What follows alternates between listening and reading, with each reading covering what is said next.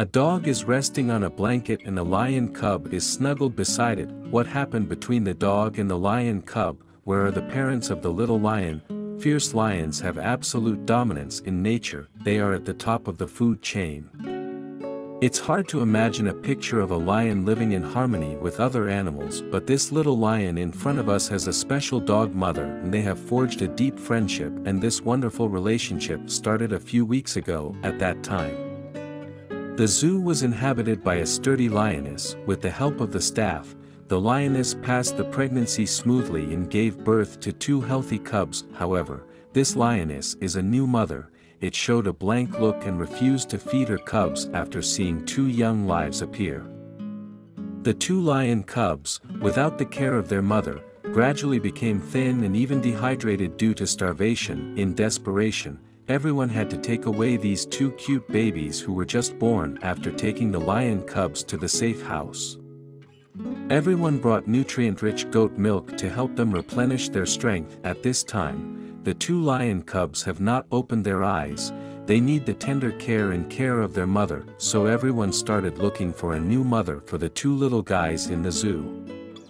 It just so happened that a nursing stray dog, Mother was sent to the zoo by the kind-hearted rescuers. The mother dog also shoulders the heavy responsibility of feeding her cubs and taking care of the two lion cubs.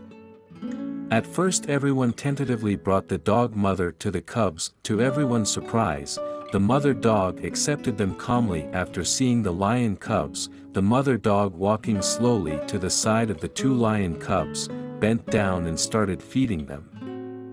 Not treating them as aliens and the little lions also got under the dog's mother in ignorance and began to enjoy the tenderness from their mother. Dot. After a few days the little lions slowly opened their eyes.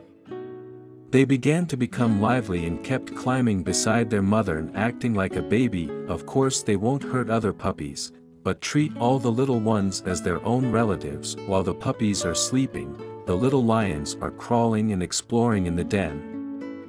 When they get tired of playing, they will snuggle up to the mother dog and rest in order to help the dog mother lighten the burden, the staff often bring goat milk to feed the two naughty lion cubs. But these little guys are very stubborn and do not want to taste delicious goat milk, but covet the milk from their mothers. Looking at their naughty and struggling appearance, the staff are a little dumbfounded. In the end. Everyone let the little lions go back to the mother dog and continue to act like a spoiled child. At this time, the dogs also woke up from their sleep. They can't wait to get under the mother dog and start sucking breast milk greedily, every time at this time. The little lions will come forward and scramble to seize the position, for fear that they will be left out by the dog mother and the dog mother will bow her head affectionately and lick these naughty babies to help them comb the messy hair. Under the meticulous care of the dog mother, the two little lions gradually rounded their bodies and looked very healthy and strong. They play with the dogs in the base every day and they are like siblings. The dog mother also treats no discrimination and will not favor any baby at all, it is precisely with the selfless care of the dog mother that these little guys can grow up carefree. We believe that in the days to come these little animals will be able to live a happier and better life.